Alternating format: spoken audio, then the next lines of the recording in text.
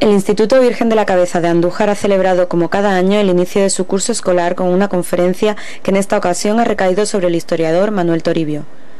Al acto han acudido la delegada territorial de Educación de la Junta de Andalucía, Yolanda Caballero, la concejal de Educación, Alma Cámara, así como el director del centro, Francisco Toribio.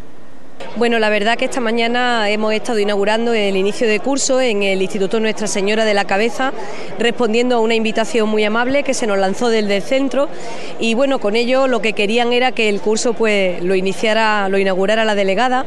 Y he tenido la ocasión también de, escuchar una conferencia que ha impartido Manuel Toribio sobre los vínculos entre la judería de Córdoba y la judería de Andújar.